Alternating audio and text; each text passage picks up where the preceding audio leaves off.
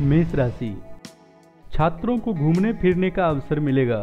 इस सप्ताह आप ऑफ़िस के लोगों पर अपनी छाप छोड़ने का प्रयास करेंगे। स्वच्छ मन से किए गए कार्यों में सफलता प्राप्त होगी। छात्रों को घूमने फिरने का अवसर मिलेगा। आपको लोगों का सहयोग पाने में काफ़ी मशक्कत करनी पड़ सकती है।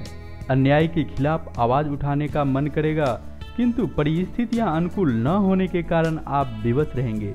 अचानक बदलावों का सामना करना पड़ सकता है। महिलाओं के व्यवहार से लोग अचंभित नज़र आएँगे। कंप्यूटर के बिज़नेस से जुड़े लोगों के लिए यह सप्ताह अच्छा रहेगा। शुभ मुहूर्त, शुक्रवार दोपहर बारह बजकर बीस मिनट से दो बजकर दस मिनट तक। गुरु मंत्र सूर्याष्टकम का पाठ करें।